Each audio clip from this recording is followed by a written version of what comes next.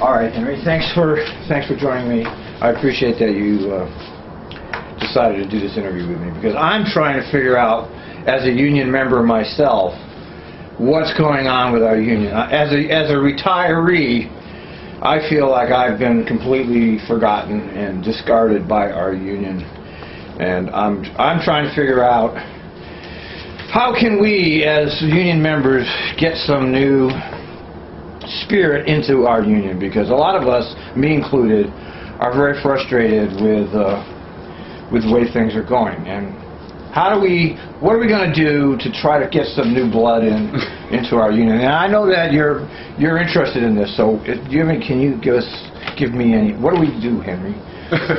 well, first off, I mean, one thing we have to stop, and this I take personal issue with because it happened to me.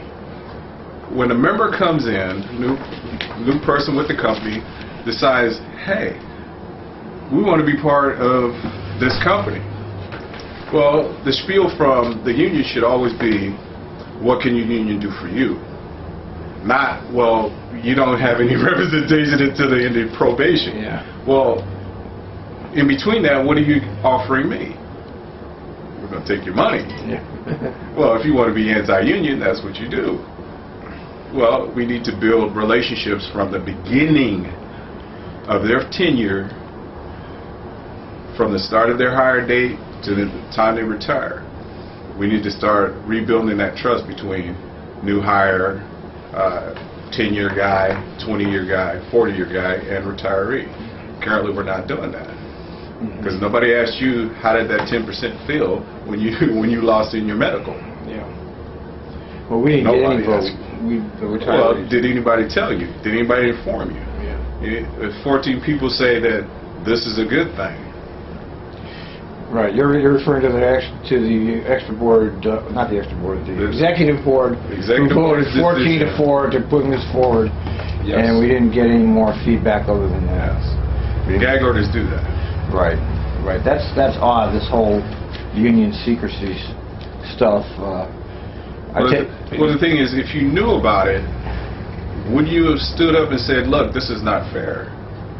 This is not fair as a retiree on a fixed income that since 2009 you lost 20% of your medical. 20%. You know, I lost twenty percent of my gross pay is what I lost. Exactly. Yeah. Exactly. But that's part of your pension and Yeah. everything rolled into it. Right. Well, I lost my, you know, I got 950 a month gross. I was supposed to get my that plus my medical. That's when I retired out. I thought in my mind, I'm going to get my 950 a month plus my medical. What ended up happening is, I got my 950 a month, but I have to take out 188 dollars of that every month to pay to pay for the medical. It's, it's Northwest Florida. You have to take out 188 dollars of that 950, which leaves me, you know, 780 or whatever it is. That's a 20 percent reduction. That was not the deal that I or anybody else who retired when I did or before had. Right. They lied to us about what we were going to have. But again, the promise was made to you when you you decided to retire. If you knew what you know now, would you retire Well, that's- 15 years, that's- or you would have you know, hung I in for another that's 20? true, exactly. I don't know if I would have hung in. I, I, I hated you, it. but the average person might have might have decided. Yeah, well, absolutely. Yeah, yeah. You're but right. it was it was it's called choice. right. But the thing we is, when you retire, you leave the union in good standing. Then you expect good stewards of your union. yeah. This is what you guys work for. This is what us who have to look forward, not back, we have to look forward. So we have to keep moving forward. And currently we're not moving forward. And that's. What do you think about? Can you rebuild solidarity? Is there any way to do that? Yes. It's going to take about maybe a year. And that's that's that's just a small estimate. But first off, when a person comes into the union hall, we should be offering the steward program along with their orientation. The steward, we need good stewards because we talk. I talk about frontline all the time. You know, in my writings, I always say frontline worker. Well, we need frontline workers out there. We need at least one for 15 new new hires that come in, or 15 people that are out there, because there's three types of training. Your initial training as bus operators, you have your initial training, then you have your line training, and then what's your third?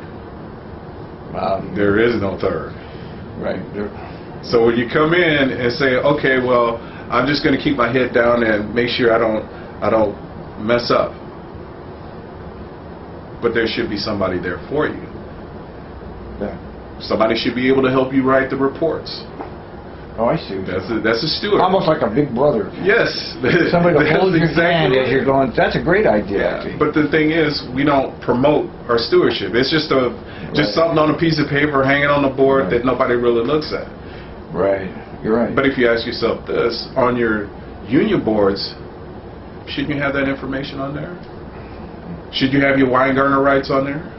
Do you even know what your your shop steward looks like? If you have one, do you even know what your uh, executive board member look like? Yeah, you do if you get in trouble. yeah, but the management's the one calling you union rep. Yeah. Tell you, hey, you gotta, you know, make sure you take it with your union rep if they're nice. Yeah. But the thing is, is this stuff on our union board? The answer is no. Why is it not? You know, nobody told me about the Weingarten rights. Really. Nobody. I learned that from a manager. You're, of course, I knew about my Weingarten rights because I needed them. well, I didn't know I needed them myself until a manager told me. Yeah, I hear you. And that, that should be coming from my union rep.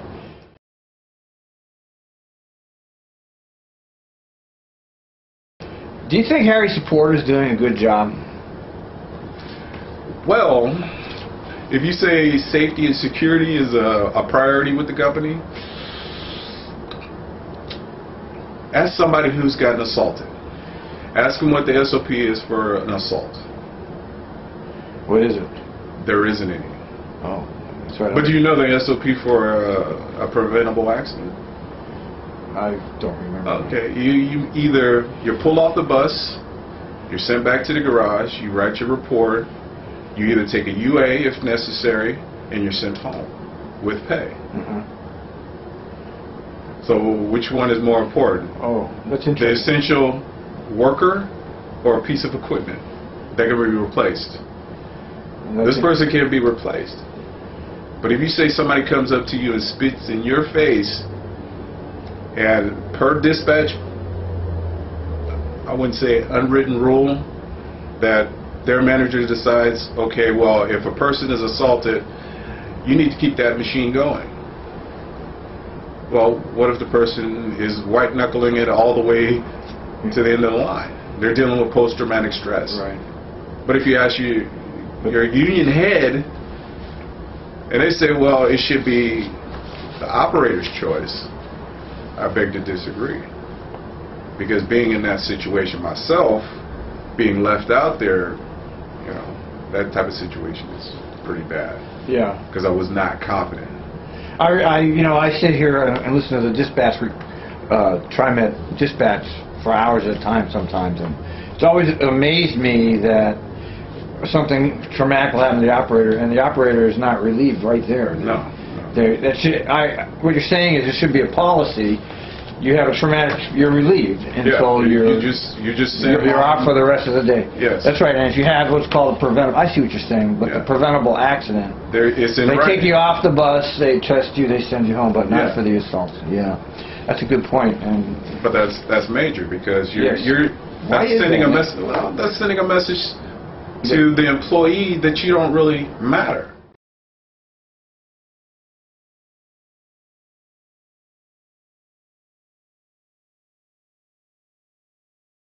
Pieces of equipment. Yeah. We're not just some people that are here to that are lucky to have a job, as uh, Right. to quote somebody is saying. We're we're more than that. We're professionals.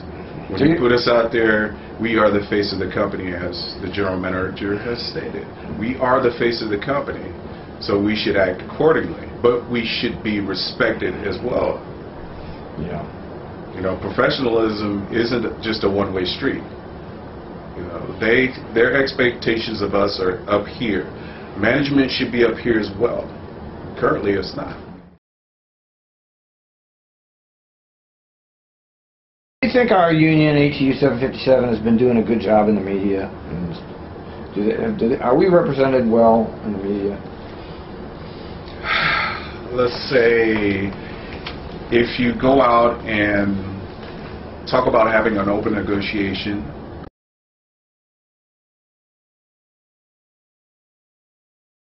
And then, you know, make a big rah-rah about it, and then all of a sudden you, you go away and do a gag order. Or if you go out and put your information on circulars, you know, with the various newspapers, and talk about retirees as, you know, we're fighting for the retirees.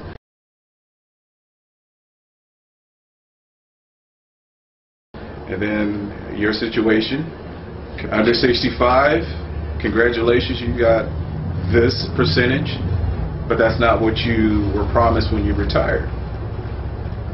So if you're going to throw people under the bus, why are you putting them in the newspapers? Or if you remember uh, Brother Bob's video uh, concerning the retirees, really good piece that, that was put on YouTube.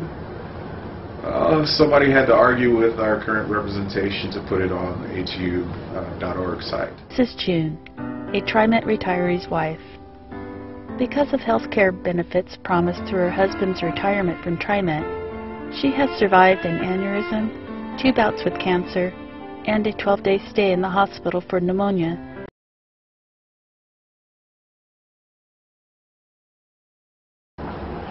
Okay, Henry, can you talk a little bit about the systemic problems at TriMet, the things that happen to operators every day, and TriMet's uh, response, and what you think would be the appropriate response?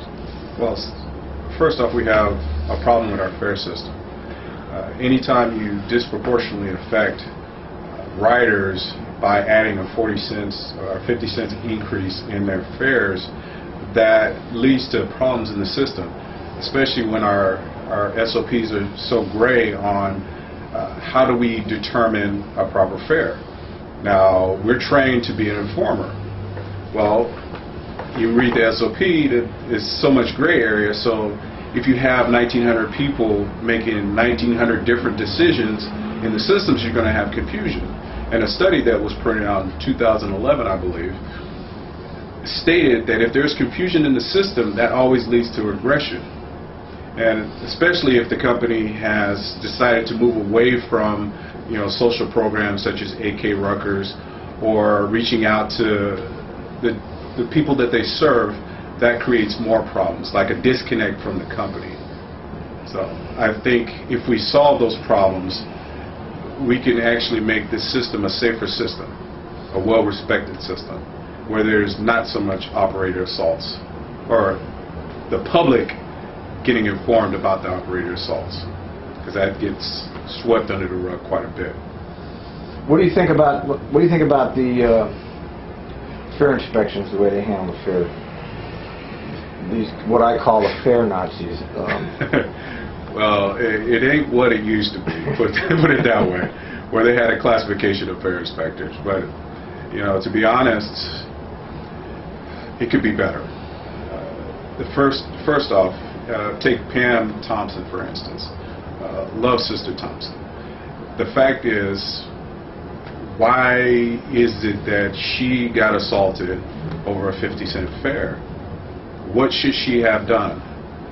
What should she be taught on how to properly administer fares?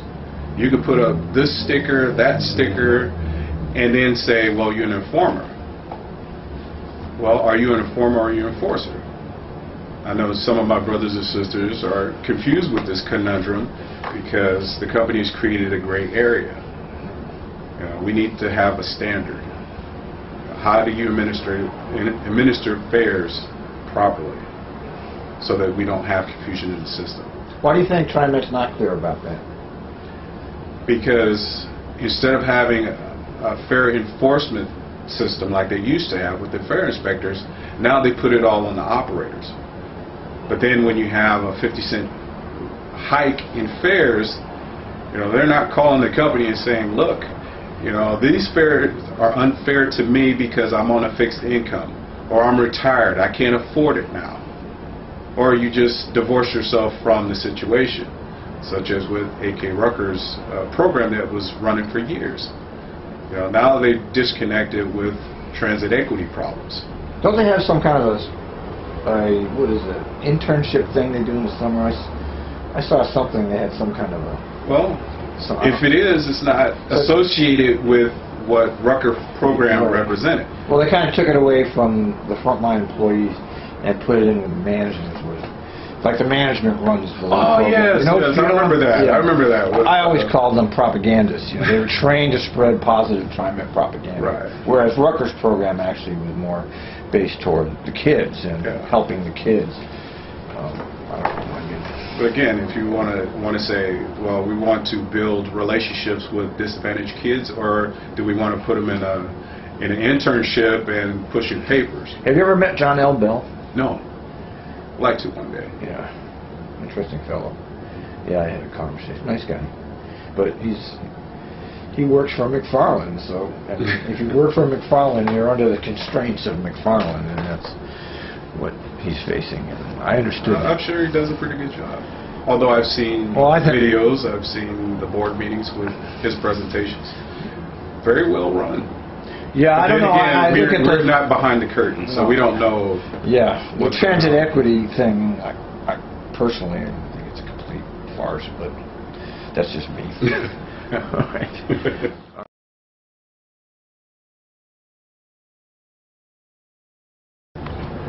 Okay, Henry, I, I want to talk a little bit about this contract ratification and how it was handled by our so-called executive board. I, I understand there's no information that comes from our union officers to somebody like me. You can't find it. There's no place on the web.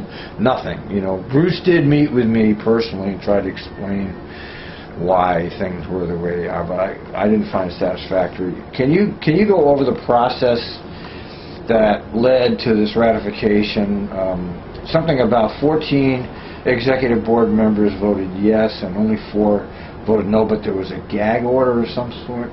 Yeah. I'm not, I don't know if we're clear about that. Tell us about that. Do you know? more- You, well, well, the gag order was put in place so that uh, the company couldn't come back in and say uh, you're tampering unfair labor practice, you know, liability for the union. You know, so that was put in place for that very reason. But the simple fact is there's no transparency.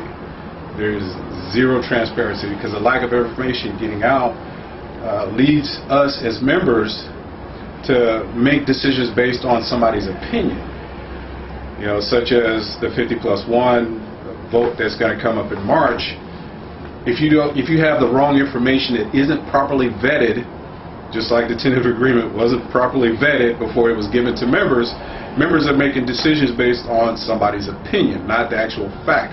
Uh, Chris Day brought up this very fact that the 50 plus one does not violate international bylaws and the executive board took an opinion from our soon-to-be gone, I don't know what you call her, but Susan Stover. She was, she's gone, you know, March 1st, but she put out the information. It wasn't properly vetted.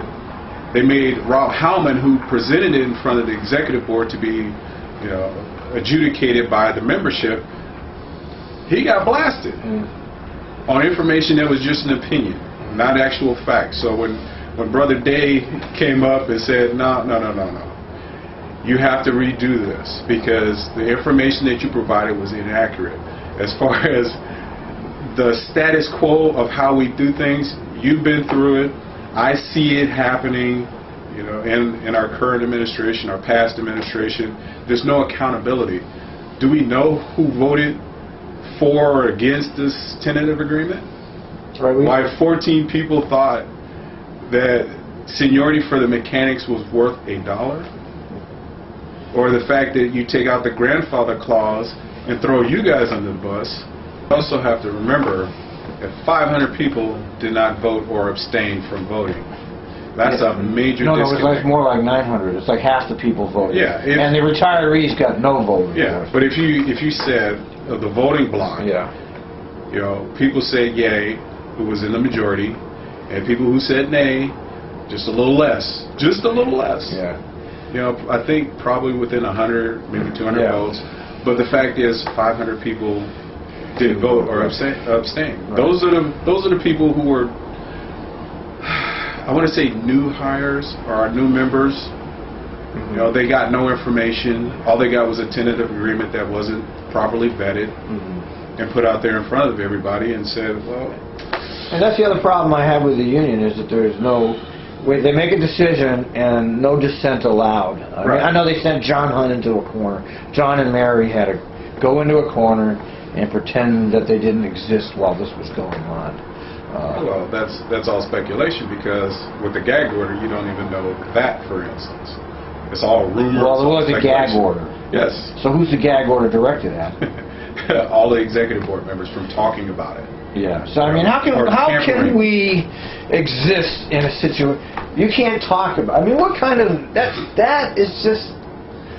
Well, you don't run a campaign and say you're the transparency guy when everything has been shady at best, and that's being that's being kind. You know, you can't say, or for instance, something uh, Brother Dave brought up. Well, where's the accountability? Do you know who voted for what, and why is it that it's a secret on how people voted? Or say um, one of one of our brothers out at West wanted to be a liaison, you know, for for the union instead of calling over to Merlo and say, well, can you help me out over here? You know, there's the situation that we need to handle. Well, why not make him the liaison? He knows everything about West. And then they say, well, it, it was voted down. Well, what was the number? Well, we can't tell you. it's just, I mean, really. you know, where's the accountability? Yeah. You know, it's the way the system is is right now. The status quo is meant to discourage members Yeah. from participation, yeah, that's right. which needs to go away.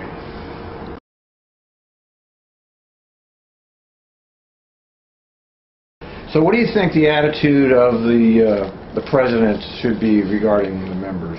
Well, the president should always have a leaders or members first uh, approach, which means that we need to re-empower our members.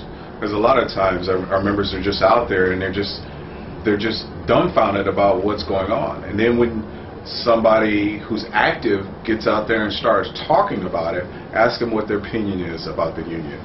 What do they they see that may be wrong uh, with the union, or how can the union better serve them? There's no there's no conversation about that. It's just you're expected to do it. You're expected to pay us, and it's all anti-union. It's all anti-union rhetoric. Yeah. Because if you look at it, you're just making their point for them. I mean, you can't just say we're a union and and mean it with any substance when you don't practice anything unionized. Yeah. You know, just take take for instance the block sign. Okay, we're talking about something that again you sign in secret. You shove it onto the members and say it's a good thing, and then you try to hide certain information so that uh, chief representative doesn't have any clue about anything. But then you put a PowerPoint present, you know, and tell people, hey, it doesn't affect your seniority. In what world? In what world? Yeah, I don't understand how anybody doesn't understand how that screwed up your senior. But the thing is, you're selling it. You're you're trying to sell it to the membership and say, look, your seniority isn't isn't affected. But that's incorrect because now you just taken all my choices away for a block program that is wrought with all kind of failures. Because my current situation, my first piece, I'm off at two o'clock. By Friday, I'm off at seven o'clock. So you see, my body clock is set here at 2 o'clock. By the time I'm done, I'm off at 7 o'clock. So my body's used to getting off at 2 o'clock. So you just affected my sleep, my recovery, my mental recovery, especially if we're trying to be behind the seat for X amount of hours, we have to be on top of our game. If we're not on top of our game, we're just, we're flying sleep. Yeah. We're just sleeping. And it's not a good thing. No, but that's you know that's what Mr. Rose was trying to uh, prove with his. Uh, His hours of service. yes, the hours of service.